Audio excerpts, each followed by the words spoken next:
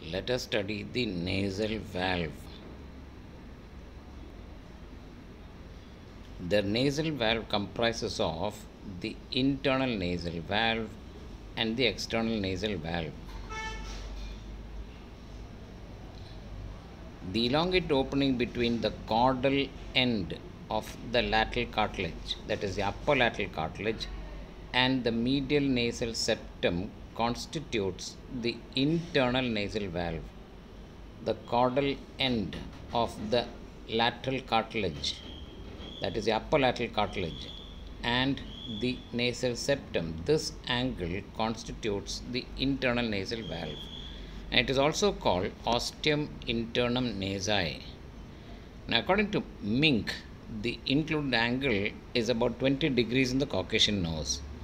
In African Americans and Asians, the angle is clearly increased.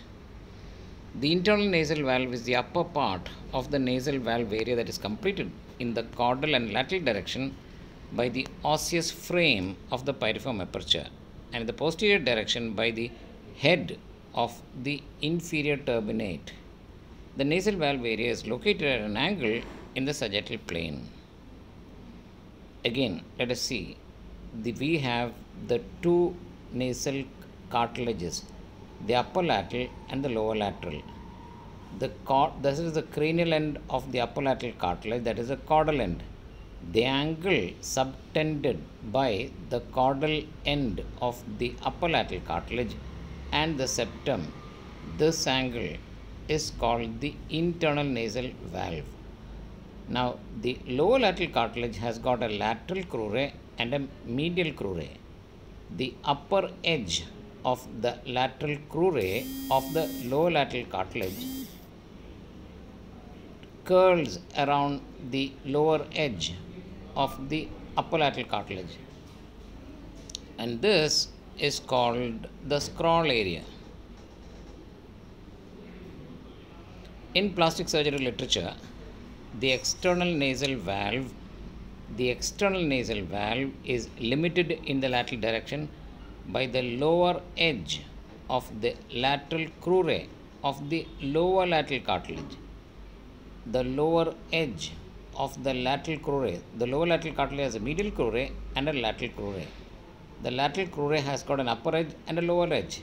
The lower edge of the lateral crura of the lower lateral cartilage with its associated fatty connective tissue and in the medial direction by the columella that constitutes the external nasal valve.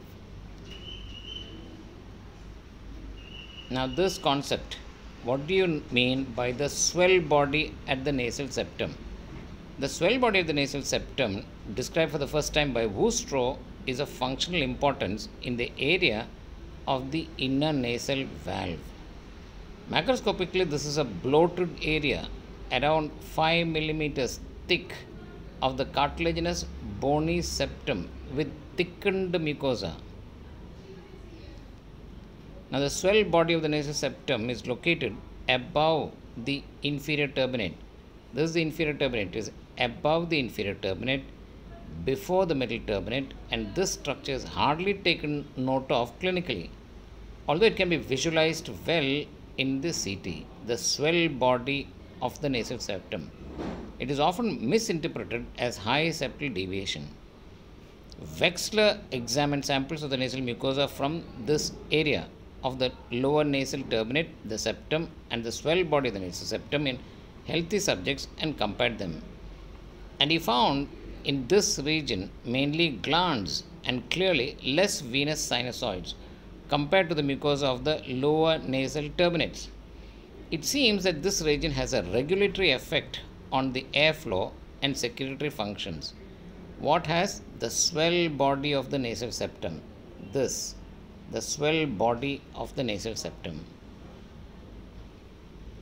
Now, the intercartilaginous region of the nose, that is the upper lateral cartilage, the lower edge meets the upper edge of the lateral crura of the lower lateral cartilage and this curls around each other that is called the scroll area the intercartilaginous region between the ala cartilage and the lateral cartilage can be seen as a diarthrosis with two degrees of freedom, mainly translation and rotation.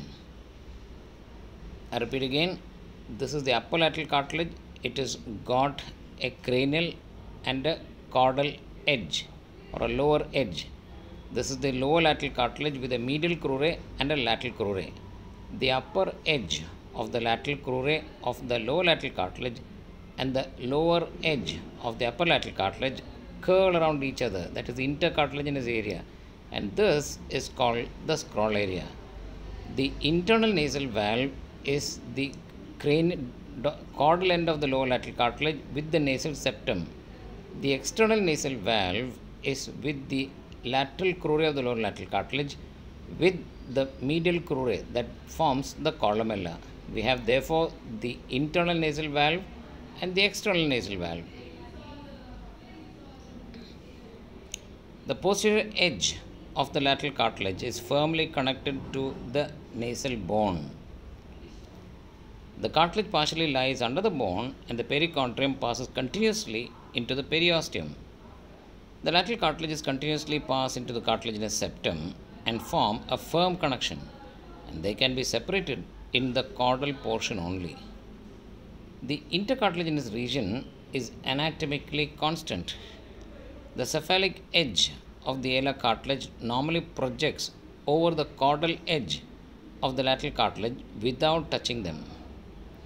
And in addition, in most cases, cartilaginous sesamoids of varying number and size are found in the intercartilaginous region, and the nasal cartilages are surrounded by perichondrium and are connected to each other through band like firm cords of connective tissue. And I repeat again, in between these two cartilages, cartilaginous sesamoids of varying number and size are found. Physiology The internal nasal valve constitutes the bottleneck. What is the internal nasal valve? Between the lower edge of the upper lateral cartilage and the nasal septum, that angle. What is the angle? About 20 degrees. And it is responsible for almost half of total airway resistance. A significant rise in pressure is recorded, in particular within the first 2 centimeters of air passage, and that is called the flow limiting segment through the nose. Now, in this context, it have, we have to elaborate on some underlying physical laws. What are these laws? The equations stated assume standardized parameters such as rigid pipes and ideal liquids or gases, but they are thoroughly useful for illustrating and are transmissible to the conditions of the nose in general. Ohm's law for flow says that the quantity of air or fluids flowing through a rigid vessel is directly proportional to the pressure difference and inversely proportional to the flow resistance. Now, applied to nasal breathing, Ohm's law means that in case of increased flow resistance due to a pathologic septal deviation, turbinate hypertrophy, or nasal valve stenosis, the flow quantity uh, decreases and an impairment of nasal breathing results. Furthermore, an increased pressure difference between the aperture of the nose and the nasopharynx, for example, in case of forced breathing, causes an increased flow quantity. Now, it also means that in case of a present pathologically increased nasal resistance, increases pressure differences are required in order to reach a sufficient nasal breathing as a result. And this condition may again cause disorders of the nasal valve, on which we will elaborate later. Another equation important for physiology of the nose is the Bernoulli equation, and in simple terms, it states that the sum of dynamic pressure and static pressure is constant. To explain this, we can say that liquids or gases are accelerated on the way from a place of high static pressure, that is the nasal aperture, to a place of low static pressure, meaning the nasal valve area, and there have a higher flow rate. The cross sectional area in the nasal valve area amounts to about 60 mm squared compared to 300 mm squared in the downstream sections of the nose. And thus we can derive from the Bernoulli equation that the highest flow rates in the nose are found in the valve area. Now the lowest rate is found in the area of the olfactory region. Disorders of nasal valve and pathophysiological particularities in general, we have to distinguish between static and dynamic disorders of the nasal valve. Both disorders can occur at the same time or be interdependent. An impairment of nasal breathing occurs when the nasal valve area is constricted through pathologies of any kind. Now, in this context, causes of static disorders are hypertrophy of the head of lower turbinate, nasal septal deviations, bony constructions of the piriform aperture, anatomic variations of the cartilaginous lateral nasal valve, and or scarred stenosis of the nasal valves. And furthermore, neurogenic causes, facial nerve paralysis, stroke, can result in a symptomatic impairment of nasal breathing through distortion of the lateral nasal valve. Although the functioning of the perinasal musculature is still not clear in its entirety, obstructive symptoms based on nasal wing collapse with denervation of the mimic musculature are described, and this can be provoked experimentally through a neural blockage of the facial nerve.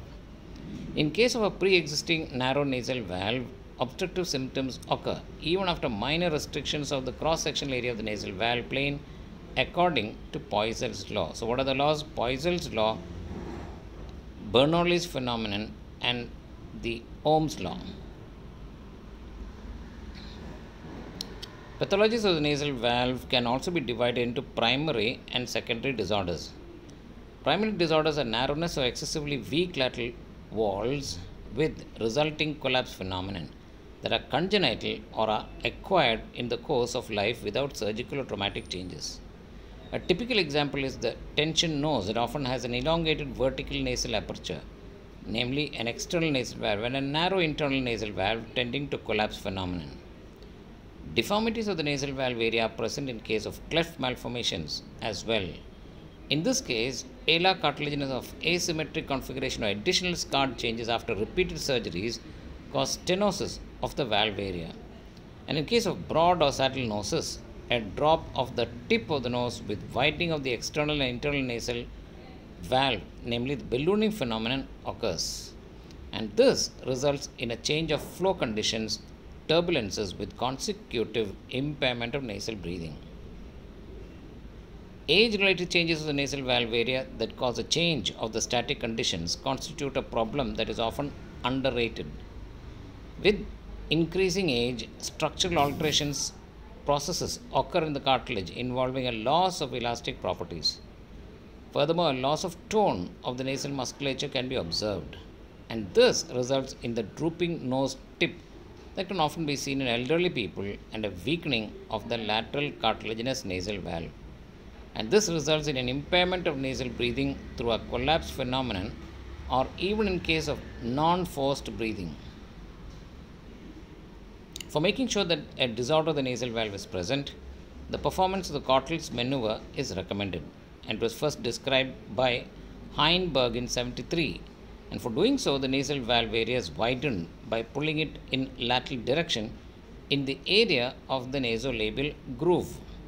An improvement of nasal breathing indicates an involvement of the valve.